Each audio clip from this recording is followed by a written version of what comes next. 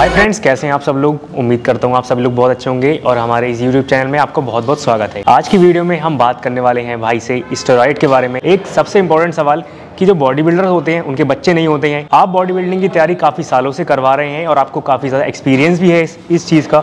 तो इस चीज़ के बारे में भी बात करेंगे। इंट्रोडक्शन देके सबसे पहले आप ये बताइए। हेलो दोस्तों मेरा नाम मुशाहिद खान है। तो स्टेरॉइड के बारे में आपका क्या कहना है? या फिर स्टेरॉइड साइकिल आप किस तरीके से देते हैं लोगों को? या फिर आपने खुद भी कोई यूज़ करी हो? या क्या बेनिफिट्स क्या हैं? साइड इफ़ेक्ट्स क्या होते हैं लोगों को? और क्या पैसा कितना पैसा लगता है? कितने महीनों में काम करती हैं ये चीज़ें? ये देखिए स्टेरॉइड का तो देखो गेम ऐसा है कि मैं आप आपने भी देखे होंगे मैंने भी देखे मेरे जिम पे कुछ लड़के ऐसे आते हैं जिनको प्रोटीन भी नसीब नहीं होता है। लेबर क्लास लोग होते हैं लेकिन उनके सिक्स पैक एब्स बने हुए होते हैं। उनका मेटाबॉलिज्म इतना फास्ट होता है कि वो काब्स भी खा रहे हैं ना उनके बॉडी में प्रोटीन की तरह काम कर रहा है वो। अच्छे नेचुरल समोसे खा खा के मेरे लड़के कुछ मेरे पास ऐसे भी लड़के हैं समोसे खा के भी कॉम्पिटिशन खेले और जीत जीत के आए हैं। वो जेनेटिक्स पर डिपेंड करता है। जिनके अच्छे जेनेटिक्स हैं सुपीरियर जेनेटिक्स हैं तो उन पे स्टीराइड दो गुना तीन गुना पाँच गुना तक वर्क करती है। और जो जिनके जेनेटिक्स ख़राब हैं बेकार हैं। मैंने ऐसे लड़कों को भी अभी मैंने मैं नाम नहीं लूँगा यहाँ पे एक लड़का है मैं पाँच महीने से उसकी ट्रांसफॉर्मेशन करा रहा हूँ। और मैंने मतलब पूरा अपनी बॉडी बिल्डिंग का एक्सपीरियंस उस पर झोंक दिया। बड़ी मुश्किल से मैं उसको सात से आठ बॉडी परसेंट मतलब आठ भी नहीं शायद दस परसेंट बॉडी फैट पे लेकर आया हूँ हर चीज़ लगा के। उसका बॉडी फैट नहीं गिर रहा था सब कुछ लगा के देख लिया।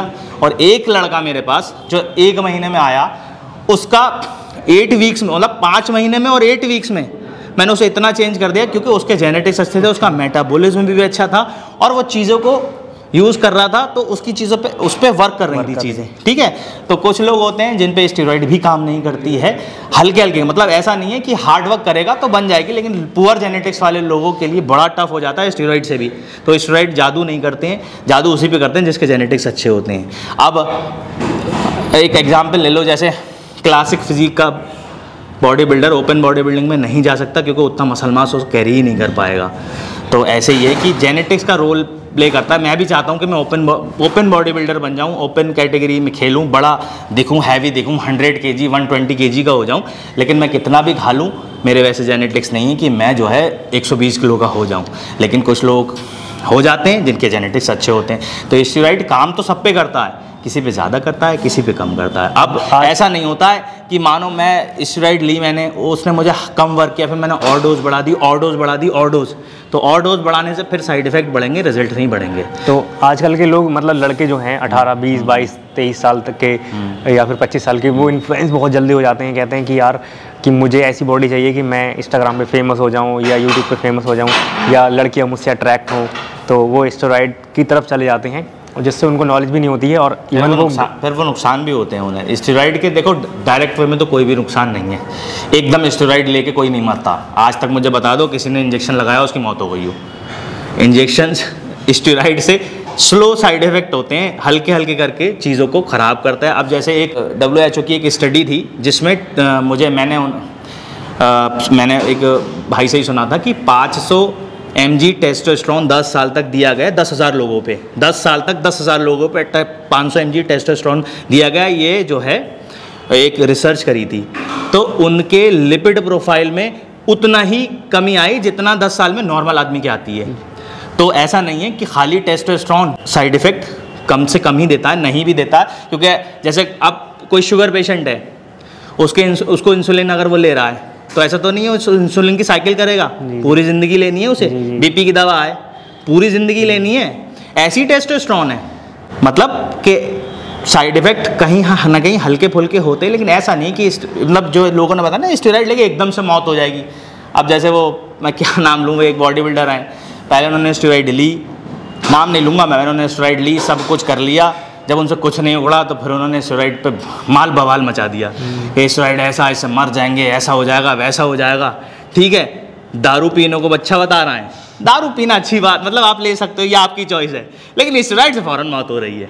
तो ऐसे लोग थोड़ा सा गुमराह करते हैं। ये होता ना इंसान वो होता है जैसे मैं जो चीज़ नहीं कर रहा हूँ तो मेरे लिए वो चीज़ गलत है।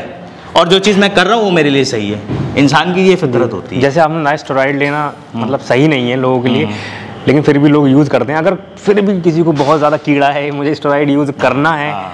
तो किस तरीके से स्टार्ट करना चाहिए? देखो स्ट्राइड करना शुरू करने का तरीका सीधा सीधा ये है। तीन से चार साल या पाँच साल जो भी नेचुरल ट्रेनिंग करो। अपने आप को नेचुरल इतना पुश कर दो कि फिर आपको लगे बस अब रिज़ल्ट आना बंद हो गए। उसके बाद स्टेरॉइड यूज़ करो उस वक्त स्टेरॉइड ज़्यादा रिज़ल्ट देगी और आपको हैवी डोज भी चलाना नहीं पड़ेगी। इंडिया में सबसे ज़्यादा स्टेरॉइड का अब्यूज़ होता है। बाहर के बॉडी बिल्डर्स स्टेरॉइड यूज़ करते हैं लेकिन वो अब्यूज़ नहीं, नहीं करते हैं। इंडिया में सबसे ज़्यादा लड़के अब्यूज़ करते हैं। जिम के पहले ही साल में स्टेरॉइड यूज़ करने लगते हैं। डोज बढ़ाते बढ़ाते बढ़ाते बढ़ाते अपने लिवर किडनी की माँ बहने कर लेते हैं। सॉरी मैं जो है ये लैंग्वेज यूज़ कर रहा हूँ। माँ बहने करना।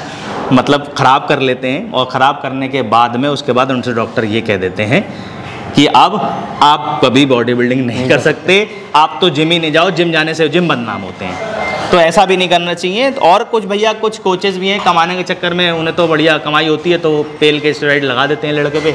लेकिन बाद में फिर लड़का ख़राब होता है। कई सारे ऐसे लड़के आते हैं, भाई, मेरे पेट में अल्सर हो गया था, अब मैंने ठीक कर लिया। फला के पास मैं ट्रेनिंग करता था अब मुझे बताओ दोबारा स्टार्ट करनी है मैं कहता हूँ भाई मैं हाथ जोड़ लूँ बॉडी ख़राब कहीं करके आए अब उसे मैं नहीं कर सकता मैं मना कर देता हूँ। क्योंकि ख़राब बॉडी मैं नहीं लेता हूँ यार मुझे तो फ्रेश मैं मुझे तो फ्रेश बॉडी दो। ठीक है ये थोड़ी है कि आप ख़राब कहीं से करके आए तो मैं मेरे पास ऐसे भी लोग आते हैं कि भैया मुझे तैयारी करा दो मैं पहले उनकी हिस्ट्री लेता हूँ। जैसे डॉक्टर भी आपको बीमारी बताओगे तो पहले हिस्ट्री लेगा जी, जी, जी। उसके बाद ही इलाज करेगा। मैं भी ऐसे ही पहले हिस्ट्री लेता हूँ भाई पास में कोई इंजरी तो नहीं थी बीमारी तो नहीं थी जब वो सब कुछ बता देता उसके बाद मुझे मैं मैं डिसाइड करता हूँ इसे मुझे ट्रेनिंग करानी है कि नहीं करानी है मैं उस हिसाब से ट्रेन कराता हूँ। अब जैसे एक सवाल ये भी आता है कि जो इंसान स्टोराइड काफ़ी टाइम से यूज़ कर रहा है या अब यूज़ कर रहा है जो भी कर रहा है तो बच्चे नहीं होते। एक सबसे बड़ा सवाल यही है लोगों के मन मन में तो आपका इस पॉइंट मतलब इस पॉइंट पे क्या कहना है कि मतलब बच्चों वाला पॉइंट वैसे तो लोगों को पता ही होगा लेकिन अगर आप नहीं देखो ऐसा है ना ये मिथ तो बरसों से चली आ रही है। जब हम पहले पहले लोग ये कहते थे जिम करने वालों के बच्चे नहीं होते। फिर दूसरे फिर थोड़ा सा हम आगे बढ़े फिर लोगों का डब्बे खाने वालों के बच्चे नहीं होते। डब्बे खाने वाले। फिर हम थोड़ा सा आगे बढ़े अब ये कहते हैं स्टेरॉइड लेने वालों के बच्चे नहीं होते। हैं ये तो चलता रहेगा। लोग आपको क्रिटिसाइज करते रहेंगे उंगली उठाते रहेंगे ऐसा कुछ नहीं है। मैं दस लोगों को जानता हूँ जिन्होंने कभी जिम में कदम नहीं रखा वो बच्चे के लिए भाग रहे जी हैं। जी और ऐसे भी लोग हैं मुझ समेत जिनके दो दो बच्चे हैं चार चार बच्चे हैं। ठीक है मेरे फादर बॉडी बिल्डिंग करते थे हम तीन भाई हैं मैं बॉडी बिल्डिंग करता हूँ। दो एक बेटा एक बेटी है मेरा छोटा वाला भाई बॉडी बिल्डिंग करता है उसका भी अभी एक बेटा हुआ है। तो मैं मेरे जितने जान पहचान के बॉडी बिल्डर है उनमें तो मैंने नहीं देखा कि किसी का नहीं हो। देखो वो अल्लाह ताला की तरफ़ से होती है कुदरती होता है किसी में अगर कोई कमी आ जाए तो। लेकिन ऐसा इतनी ऐसे नहीं होता। हाँ स्टीरॉइड से फर्टिलिटी पे फ़र्क पड़ता है। तब फ़र्क पड़ता है जब आप ध्यान ना दो सालों साल फर्ट मतलब यूज़ करो स्टीरॉइड पीसीटी ना करो प्रॉपर और अच्छे से गाइड ना करो को मतलब किसी अच्छी गाइडेंस में ना करो। तो प्रॉब्लम आ सकती है। लेकिन मैंने ऐसे लड़कों को भी ट्रीट किया है जिनका स्पम काउंट ज़ीरो हो गया था और बाद में उनका बिल्कुल सही हो गया।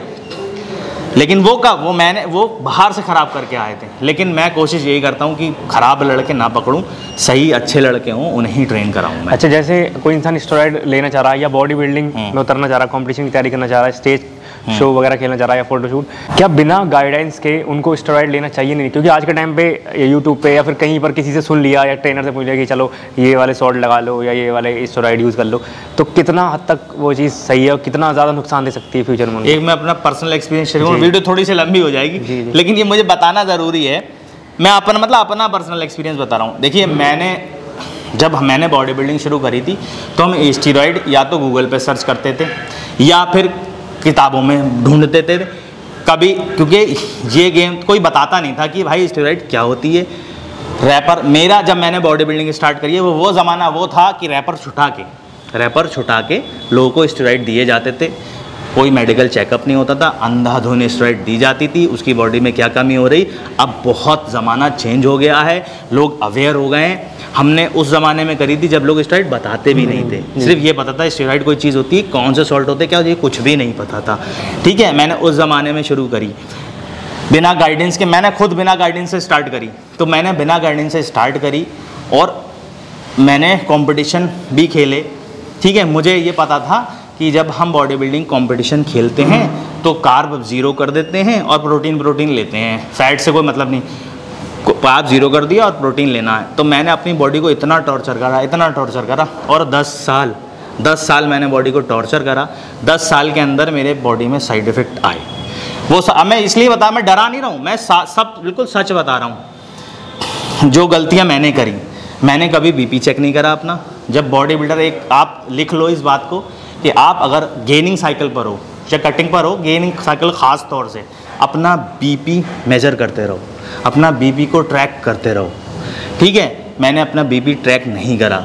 मेरे हेडेक हुआ, बीपी की वजह से। बीपी बड़ा हेडेक हुआ, मैंने सर दर्द की गोली खा ली। बीपी बड़ा हेडेक हुआ, सर दर्द ऐसे मैंने सालों साल में यही करता रहा और बॉडी बिल्डिंग भी करता रहा।